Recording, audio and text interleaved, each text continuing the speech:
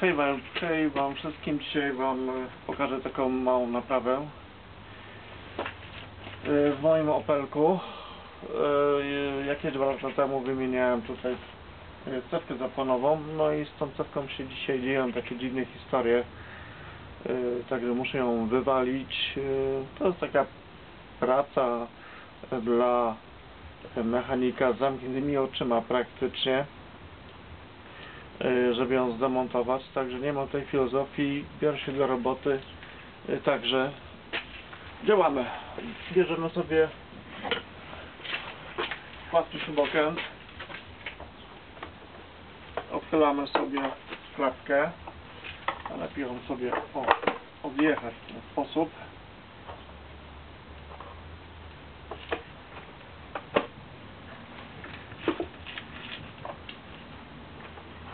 Jeszcze jest oporne. Mamy klapkę u góry. W ten sposób. I teraz tak. Musimy dobrać się tutaj do cepki. Wypinamy sobie okablowanie. Widzicie to? Wypinamy sobie wtyczkę z cepki.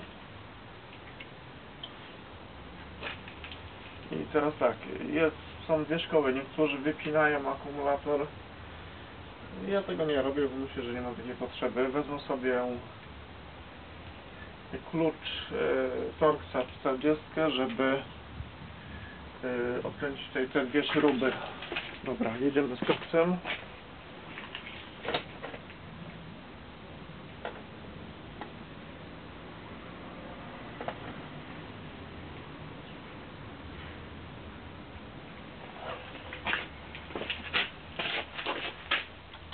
Mamy klucz 40.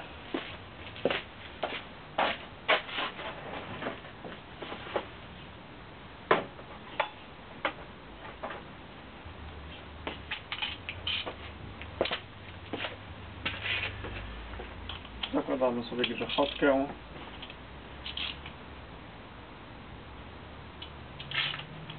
Skręcamy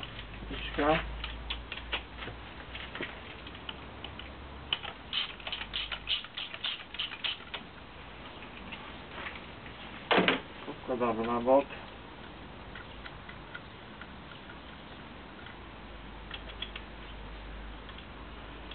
Tutaj przy zetkach to wszystko z czuciem musicie robić, żeby nic nie poprzekręcać, bo są tam też delikatne elementy. Coś tam spapracie, no to może być różnie. Te prace powinny się robić na, na zimnym samochodzie. No ja to robię nad ciepłym, bo nie mam za bardzo czasu, muszę teraz lecieć dalej, także wyciągniemy sobie czapkę. O, cyk, widzicie? To jest cała cewa z, z Opla e, Astry. W dwójce chyba też był cały moduł, jak pamiętam. Chyba wer, w wersjach czynnikowych 2.0 były pojedyncze cewki. Także teraz Wam pokażę o co tutaj chodzi.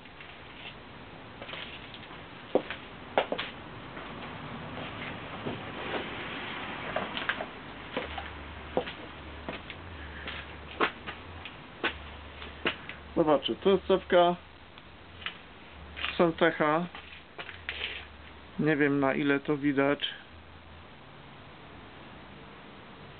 I cóż się dzieje takiego z tym? E, samochód po prostu za dużo pali i ostatnio pokazały się komunikat check, check engine, że e, nastąpiło wypadanie zapłonów.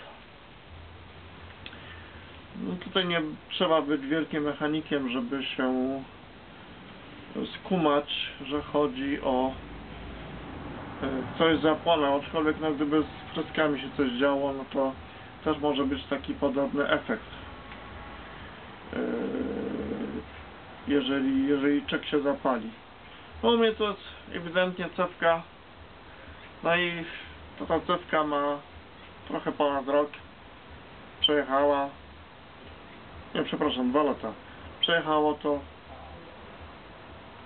troszeczkę ponad 30 tysięcy i jest do wyrzucenia. Także nie kupujcie nie kupujcie cewek z niższego segmentu takich, takich zamienników niższej, niższej jakości, bo po prostu to są wyrzucone pieniądze. Ja dałem pieniądze, ja dałem za to no chyba grubo ponad dwie stówki, a gdybym trochę dołożył, kupił porządną cewkę Bremi, czy, czy Magneti Marelli, czy, czy y, NGK, no to, to pewnie nie byłoby do dzisiaj kłopotu. I żeby było śmieszniej, powiem wam, zrobiłem taki myk, że zamówiłem sobie z internetu cewkę Delfiego.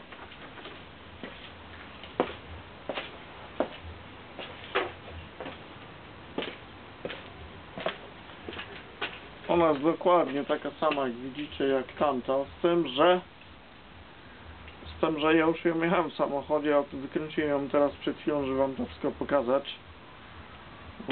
Nie wiem na ile tu będzie widać to logo Delphi. Zaczyna znowu padać. Prawda nie padało. No i cóż, po, po założeniu tej ceweczki pewnie auto będzie inaczej sobie latać. No, ją trochę, założymy.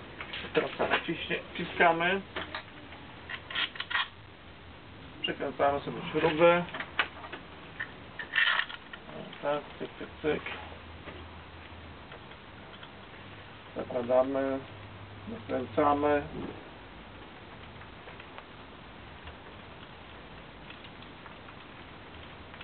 Oczywiście znowu zaczyna padać, dobrze mi padało. Jak ja zaczynam kręcić, to znowu zaczyna padać. Proszę Państwa.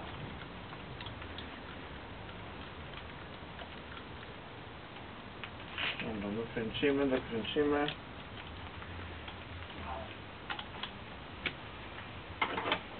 Wszystko sztukiem.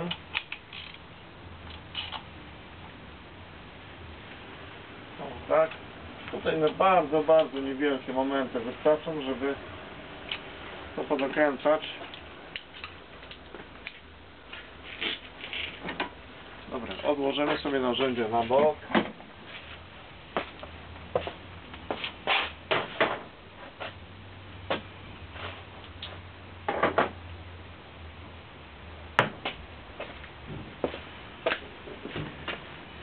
Także nie kupujcie cewek yy, z ni- z niskiego sortu zamienników, bo to się odbija czkawką po prostu.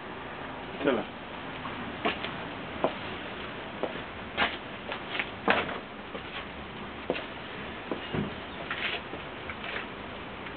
Dobra.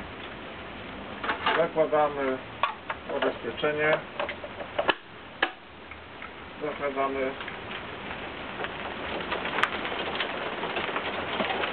A. okablowanie. Zakładamy wtyczkę.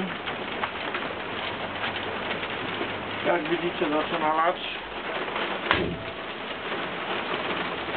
Jak się podobało dajcie łapkę w górę i zróbcie suba mojego kanału. Hej!